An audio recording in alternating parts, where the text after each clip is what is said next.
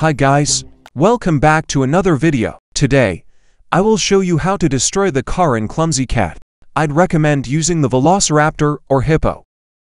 You get a really big amount of money for destroying the car. Let's get into the video. I'm gonna use the Velociraptor for this video. Go to the storage room. If you don't know where it is, just go where I go. Clear out the way.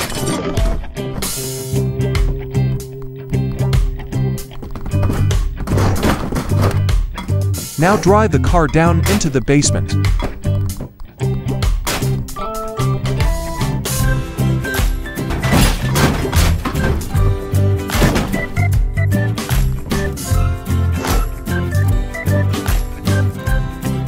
Drop the anvil onto the car. You get $49,995 worth of damage. Before I end the video, F-Reacts reached out to me to mention him in one of my videos. So subscribe to him. It's his wish. Respect him. Anyway, I hope you enjoyed this video. Like and subscribe, or a spider will come and eat you in your sleep. Died.